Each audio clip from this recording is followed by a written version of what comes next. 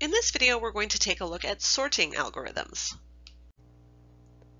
A sorting algorithm is an algorithm that essentially sorts the elements of a list into increasing order, and that is numerical, that is alphabetical, whatever it is that we're trying to order, that's how we would order them. So we often use sorting algorithms in large databases like uh, sorting customer or part numbers, sorting prices, phone directories, um, obviously phone directories by last name, etc. Um, there are over 100 sorting algorithms that exist out there in the world. We're not going to look at all 100 of them. You're welcome. So the first one we're going to look at is the bubble sort algorithm, and that algorithm basically compares adjacent elements, interchanging them if they're in the wrong order. It may require several passes. So we're going to look at this one together. Pass one, I would look at four and three, and my algorithm would say, hey, those are in the wrong number, or the wrong order. So now I have three, four, five, two, one. Still in the first pass, I would then look at four, five. Those are in the right order, so I don't have to switch them. I would then look at 5, 2, and 5, 2 is not in the right order, so I would switch them. So 3, 4, 2, 5, 1. And then I would look at 5, 1, and 5, 1 is not in the right order, so I would have 3, 4, 2, 1, 5. That is all happening in pass 1. So I looked at each pair. Then in pass 2, I would just then start at the top again. So pass 2, I would say 3 and 4 are in the right order. 4 and 2 are not in the right order, so they're going to switch. So this is 3, 2, 4. And then I would look at 4, 1, because now it's a 4. Like, I'll go ahead and rewrite it like I did before. Then I'm going to look at 4, 1. Those are not in the right order, which gives me 3, 2, 1, 4, 5 and then I would look at 4, 5, and those are in the right order. So that brings us on to pass 3, where I start again at the top. And at the top, I would say 3, 2 are not in the right order. So now it's 2, 3. I would look at 3, 1, which are not in the right order. So that gives me 2, 1, 3.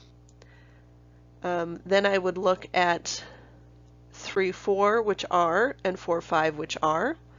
So now that brings me to pass 4, where I would look at 2, 1 and say those are not in the right order. So that's now 1, 2. And then I would look at 2, 3, those are, 3, 4, those are, and 4, 5, those are. So it took me four passes to get where I wanted using the bubble sort algorithm. So as you can see, it's not necessarily efficient, but it is effective. So let's look at our pseudocode for our bubble sort procedure.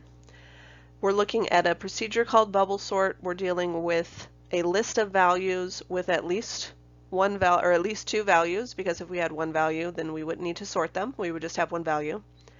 Then we're saying for i, which is of course the subscript, um, i from 1 to n minus 1, and then from j, which goes from 1 to n minus i, we're essentially saying let's compare the two values, j, and the value after that. And if the value is greater than the value that comes after that, then we have to interchange them. And otherwise we don't, obviously. And so if we continue that procedure for all of those values, our output is that we get our values in increasing order. The other sorting algorithm I want to talk to you about is the insertion sort algorithm. And the insertion sort algorithm essentially starts with our second value and says, hey, is this in the right spot? If not, let's put these two in the right spot. So my first pass, I would end up with 3, 4, and then still have 5, 2, 1. My second pass, I would be looking at 5 and saying, is 5 in the right spot compared to 3, 4, 5? And so my pa second pass says, yeah, it sure is, but I still have two, oops, two and one to contend with. My third pass says let's just look at the 2. Where would the 2 go in that list? And the 2 would go in front of the three, four, five, which still leaves me with 1 to contend with. And then in the fourth pass, I would be looking at putting the 1 where it goes, which is right at the beginning, and so now I have everything in the proper order. So the insertion sort pseudocode has quite a bit going on, but essentially what it is saying is we have to take our values from 1 through n, with obviously two or more values, and we're saying for j equals 2 to n, starting at i equals 1, essentially what we're saying is let's compare 2 to 1 and switch their order if necessary. If not, then we go on to the next one. And then essentially we're looking step by step for where does it go in the list that we have already essentially set.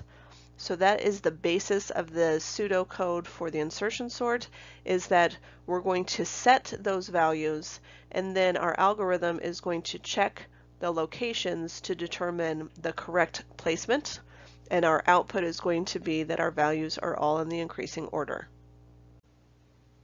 So let's take a look at a couple of practice and again keep in mind that we might have several um, passes through but I'm going to start with the bubble sort and what I'm trying to do is obviously sort these from least to greatest.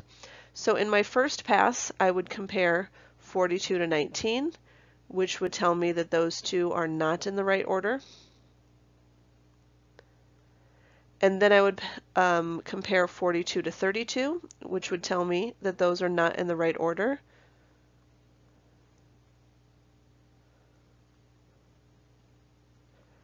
And then I would compare 42 to 11, which tells me those are not in the right order.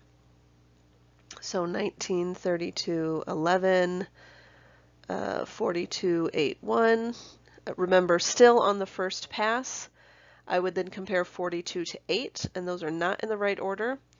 So 19, 32, 11, 8, 42, 1, and then 42 to 1. Those are not in the right order. So 19, 32, 11, 8, 1, 42. That was all in the first pass. The second pass, I would compare 19 and 32. Those are right in the right order. 32 to 11, which gives me 19, 11, 32, 8, 1, 42. I would then compare 32 to 8, giving me 19, 11, 8, 32, 1, 42. I would then compare 32 to 1. So 19, 11, 8, 1, 32, 42. And lastly, 32 to 42, which is correct. So we're going to continue on to the next pass. So notice on my first pass, 42 is in the right spot, and now 32 is in the right spot. And so now I'm going to start with 19 and 11. Those are not in the right order, so 11, 19, 8, 1, 32, 42. And then I'm going to compare 19 and 8. So I've got 11, 8, 19, 1, 32, 42. And then I'm going to compare 19 and 1. So 11, 8, 1, 19, 32, 42. And again, I now have another one in the correct order because the rest of them are okay. Now I'm going to go to my next pass. I'm going to compare 11 and 8. So I get 8, 11, 1, 19, 32, 42. Compare 11 and 1, giving me 8, 1, 11, 19, 32, 42. That passes over, and I now have 11 in the correct spot.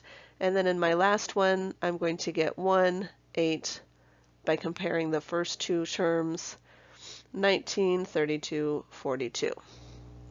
So now I have used the bubble sort and my elements are sorted correctly.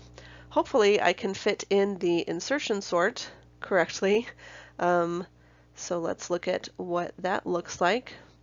My insertion sort starts with the first two and places them in the correct order. So 1942 The rest of them are still to be placed. My next pass would then compare this 32 and basically compare it against both the 19 and the 42 and so it would place correctly the 32 between the 19 and the 42 but still leave 11, 8, and 1 to be placed. My next pass would put the 11 in the proper spot, so I would have 11, 19, 32, 42. Keep in mind that process is involved because it's actually comparing it um, whoops, 8 and 1, comparing it to each and every value, um, not just, I mean, I'm just saying, yes, it goes between these two, but the computer would be checking every single value.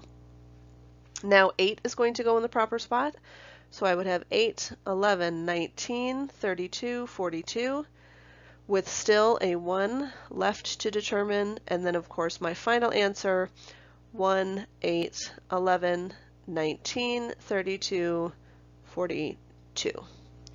And that is the same answer we came up with either way. Um, obviously, insertion took less time. Coming up next, we're going to take a look at some optimization algorithms.